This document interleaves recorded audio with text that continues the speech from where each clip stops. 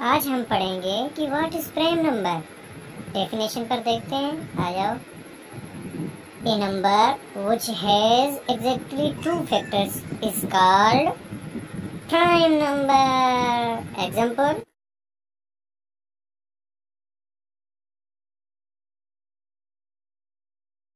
subscribe और like करना मत भूलें।